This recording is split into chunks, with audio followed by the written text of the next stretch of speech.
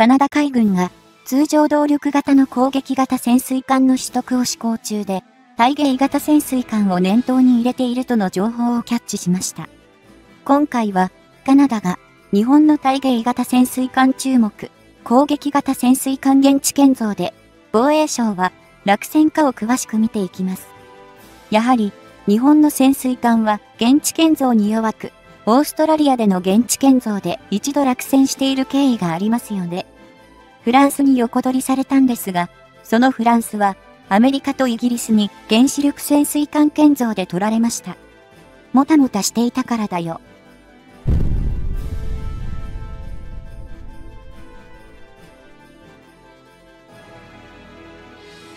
日本における防衛力の用と位置づけられているものの一つが、かつての防衛力整備計画に基づき、昨年2023年3月に実現を果たした潜水艦隊の22隻体制であることは、注目の一致する見解とみて間違いないだろう。2024年を迎えた今、日本の海上自衛隊の潜水艦隊は、古い方から順に親潮型8隻、総流型12隻、大芸型2隻で、この22隻体制を構築しており、これに加えて、親潮型2隻を練習潜水艦として保有、運用している。日本の海上自衛隊では、現在の22隻の潜水艦隊を最新の状態に維持するべく、三菱重工業者と川崎重工業者の2社が、各年で、心臓の潜水艦を供給しており、これにより、その建造能力やインフラの保持も確保されている。言うまでもなく、日本の海上自衛隊の潜水艦隊は、これまでのところ、すべてが通常動力型の攻撃型潜水艦によって構成されており、岸主部に装備する6門の 533mm 魚雷発射管から運用される兵器を重兵装としている。こうした状況下、現在の海上自衛隊で実戦配備されている潜水艦の中で、最も古い艦級である親潮型であっても、それは2000年3月に収益を果たした3番艦、渦潮であり、今年で25年目の慣例に止められている。海上自衛隊の潜水艦は、そのすべてが通常動力型の攻撃型潜水艦であることは前述した通りだが、機関部の構成は、ほぼ艦級ごとに改められており、艦級と同様に、大きく3種類に分けることができる状態である。まず、最古山の親潮型は、ディーゼル機関と鉛製のバッテリーと発電機を備えるディーゼルエレクトリック方式であり、潜水艦が世界の歴史上、海軍戦力として登場した1世紀以上前から続く古典的な構成である。続く、そう、竜型は、1番、総流から10番艦の小流までの10隻が、ディーゼル機関と鉛製のバッテリーと発電機に加え、スターリング機関をも備えるディーゼルエレクトリック方式で非待機依存推進を実現している。そして、そう、竜型の11番艦、王竜、12番艦、東竜、そして現在最新鋭の対芸型では、ディーゼル機関とリチウムイオン製のバッテリーと発電機を備えるディーゼルエレクトリック方式を採用している。そう、竜型の11番艦、王竜以後のこの機関構成は、世界の通常動力型潜水艦の中でも初めて量産化された方式であり、安全性の面の難点を抱えるとされたリチウムイオンバッテリーの問題をクリアしたとして注目を浴びている。通常動力型の攻撃型潜水艦の世界的なトレンドでも、数年前までは何らかの非待機を推進を採用することがマストであった感が強かったが、そう、竜型の11番艦、欧竜の収益以後、その認識に変化が生じているようにも感じられる。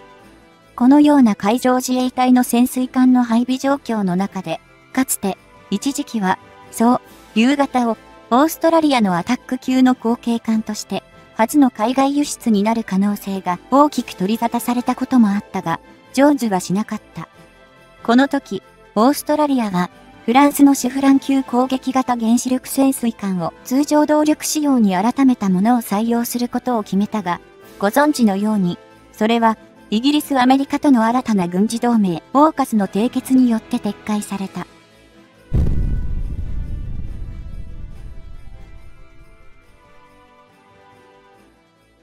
オーストラリアは、このオーカスの締結によって、アメリカのバージニア級攻撃型原子力潜水艦をまず5隻程度調達し、以後は、イギリスと同盟名を冠した新規の攻撃型潜水艦、オーカス級を建造し取得する方向へと舵を切っている。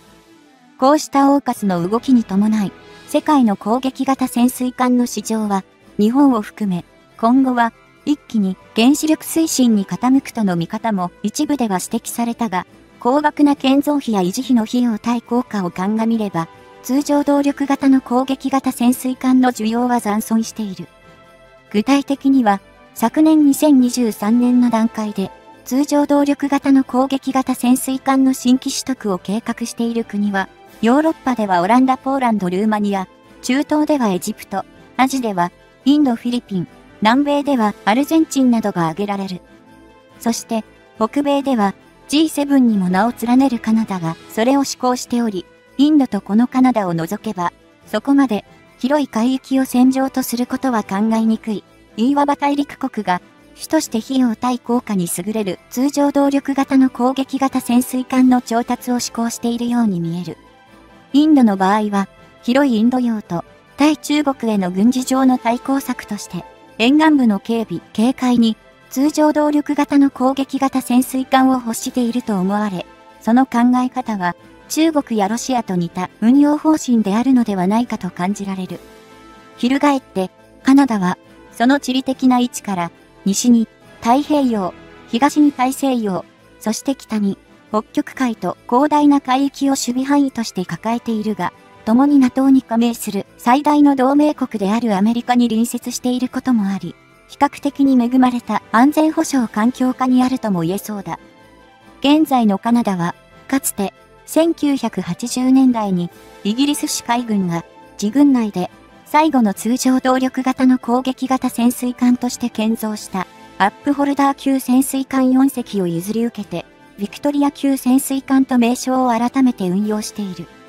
この旧アップホルダー級潜水艦、現ビクトリア級潜水艦は水上排水量2185トン、水中排水量2400トン、全長70.26メートル、全幅7.6メートルの規模の通常動力型の攻撃型潜水艦で、やはり、主兵装は、岩主部の6門の 533mm 魚雷発射艦である。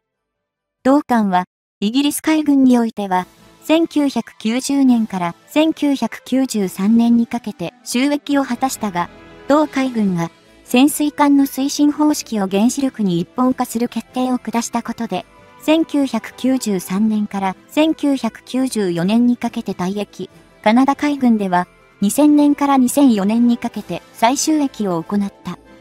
現ビクトリア級潜水艦は、イギリス海軍では、わずかに1から3年ほどしか運用されなかったため、貴重な新古品としてカナダ海軍に受け入れられた形だが、兵装は、カナダ海軍では、対艦ミサイルや機雷が除かれ、長魚雷のみで運用されている。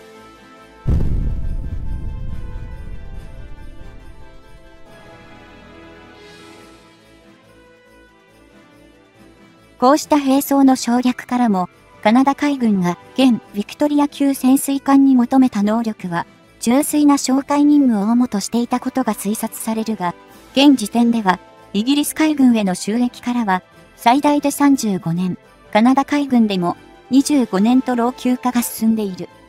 そのため、カナダの国防省は CPSP カナディアンパトロールサブマリンプロジェクトと名付けた検討機関を設置し、現状は2034年に退役を予定している現ビクトリア級潜水艦を代替する方針を進めている。